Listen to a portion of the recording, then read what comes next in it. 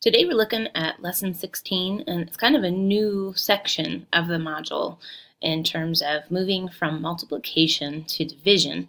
So we talked about this kind of at the beginning of the school year that if you're multiplying by 10, you're actually just gaining place values because you'd have 1 times it and then you'd add your zeros.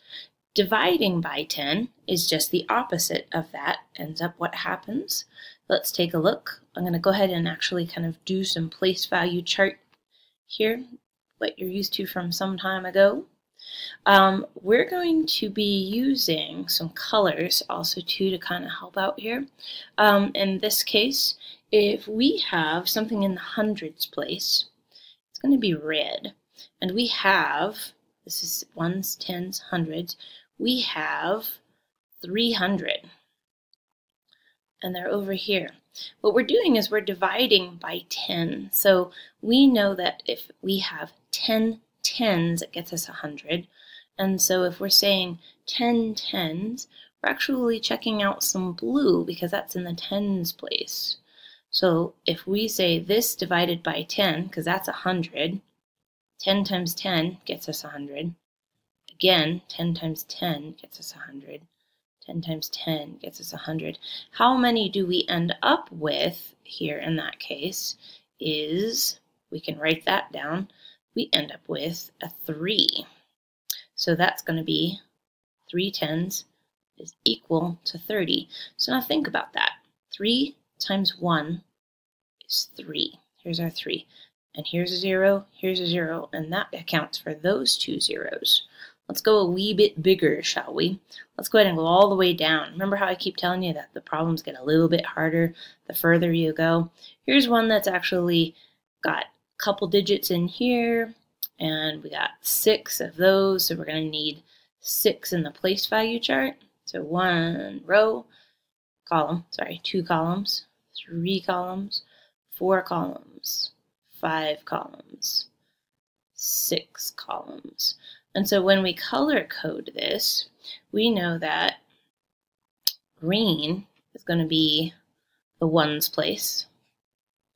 And here's the tens place, here's the hundreds place. Then we start over kind of equal to 1 when we say how many thousands? Oh, well, there's 1,000. And then we've got blue for the hundreds, sorry, for the tens. Here's 10, 100, 1,000. Oh, 10,000 is going to go here. And then we go into the hundreds, which we've got a red. So here's 100, and then we've got a thousand, 10,000. Oh, and here's a hundred thousand. So when we look at this, we see 600,000. So we're going to go one, two, three, four, five, six of those. 600,000. Now we've got 80,000. So that's going to be a blue. Let's grab a blue. And let's rid of our dot thing there. So one. I'm doing this wrong, am I not? I totally am. I've moved over and I'm in the thousands place now, which is not okay. We want to be in the ten thousands place, so we're over here. One, two, three, four, five, six, seven, eight. So there's eight of those. And now what we're doing is we're saying how many thousands are in this, because we're dividing by a thousand. How many thousands does it take? If this eight was here, 8,000, we know it would be 8,000. Eight thousands. But hey, there's 80 of them, so that's going to be 80 thousands. And so the thousands place is right here. So this is going to become how many thousand? It'll be 80 of them. So we know that that's going to be kind of overflowing a little bit, right? So 80 of them. So that's going to be all the way over here in the tens place.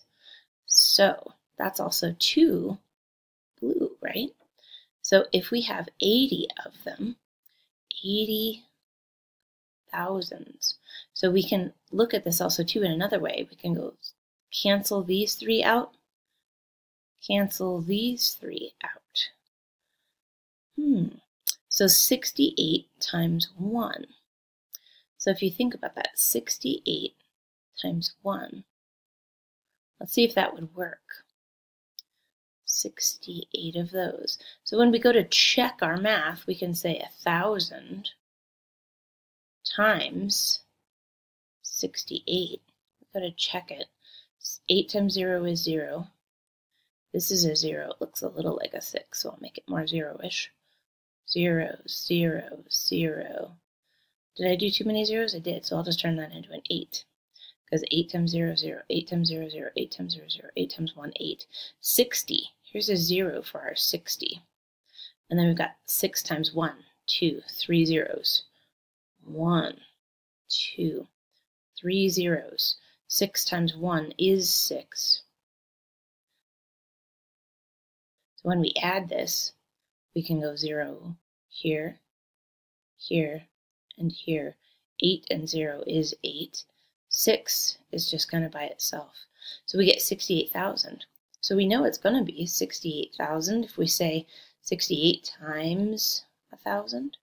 So that is true then. So our answer then is we're going to have these 8 are going to move on over because they lost their zeros.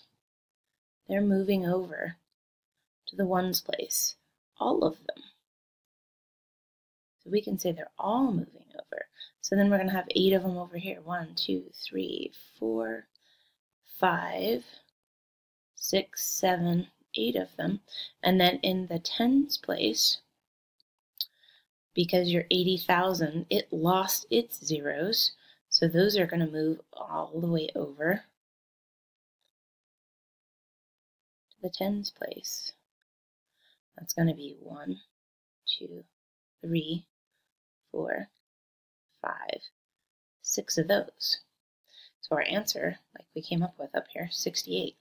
All right, let's take a look a little bit further down. These ones get a little bit more complicated. We can take a look here at black. We're going to have 18,000 divided by 200. And looking at their example over here, they had 18,000 divided by 10 to start with. And then they said by 2. So let's do the same thing that they did. And we'll go 18,000 divided by 10. And then divide that by 2.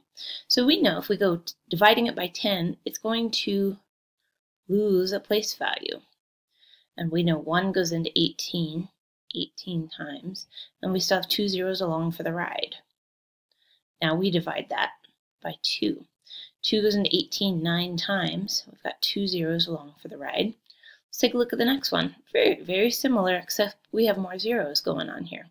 So we're going to be saying 18,000 divided by 1,000, because the 2's in the thousands place, divided by 2. We know that these one, two, three zeros take out these three zeros, leaving us with 18 divided by 2. 18 divided by 2 happens to be 9. So here, if you take out the 1,000, you end up with just your 9. Here we took out 2, and we ended up with 900. But wait a second, so did they. So could that still be true? Could that possibly be true? Did we take out enough zeros? Doesn't look like it, right? I missed that one. Let's scroll back up to where we were. So that's why this zero shouldn't be here. I made a mistake. Let's go to the hardest one. If we take a look at this one right here, this is the hardest one. And we know that we're going to have 450,000 divided by 9. What? 1,000? Oh, so when we go to divide, we know that's one, two, three place values it's going to lose. One, two, three place values it's going to lose. It's going to leave us with 450 divided by 9. So now when we think about that, we know that 9 times 5 gets us 45, and then we've got a 0 along for the ride. So that's going to be 50. When you look at that, this is thousands. This one is hundred, so it's probably going to end up with another zero in the answer. This one is dividing by 10, so it's probably going to end up with an even bigger answer, a zero in the answer. All right, we've hit the 10 minute mark on this. Let's go ahead and take a look at what we have for tonight's homework. So it says divide and show your thinking. So you're going to be making, in terms of this, you're going to just kind of chart it out the way we just did. So an example, I'll do A for you, but then I want you to choose either B, C, or D. So on this one, if we have 17,000 divided by 100, so now you're going to think, oh, 100 into that. So we've got two zeros we're losing, two place values. That leaves us with 170 for our answer. These ones, however, down here, these ones it's going to go a little bit further because you're going to have 12,000 divided by, oh, a 10 and then divided by 4. Same thing applies to this one. This one's easier. These two are more complicated. So choose and bring your answer to school tomorrow for your homework. Thank you.